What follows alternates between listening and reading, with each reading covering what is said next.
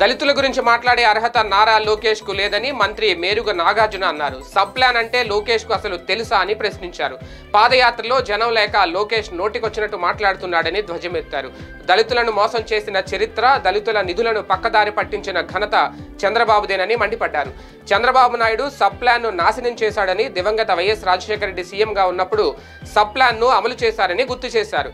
దళితుల అభ్యున్నతికి వైఎస్ఆర్సీపీ ప్రభుత్వం కృషి చేస్తోందన్నారు.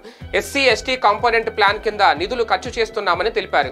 ఒక్క రూపాయి అవినీతి లేకుండా పరిపాలన అందిస్తున్నాము అన్నారు. దళితుల మీద దాడి చేస్తే నీపైన ఏంటి? మీ నాన్నపైన కూడా కేసు పెడతామని హెచ్చరించారు. ఎస్సీ సప్లాన్ నిధులను పొలంబడి రైతు క్షేత్రాలు న్యాప్ క్లీన్ పెళ్ళి కానుక ఎన్టీఆర్ సుజల స్రవంతికి ఖర్చు పెట్టామని చంద్రబాబు చూపించారు. ఎస్సీ ఎస్టీ పేదలకు ఇంగ్లీష్ మీడియం విద్య ఇళ్ళ పట్టాలు రాకుండా అడ్డుకున్నది మీ బాబు నువ్వు కాదా అంటూ ప్రశ్నించారు. విజయవాడ నడిబొడ్డున అంబేద్కర్ విగ్రహం పెడుతుంటే టీడీపీ ఓర్వలేకపోతుందన్నారు. గతంలో ఎస్సీలకు రుణాలు పేరుతో అవినీతికి పాల్పడ్డారని విమర్శించారు.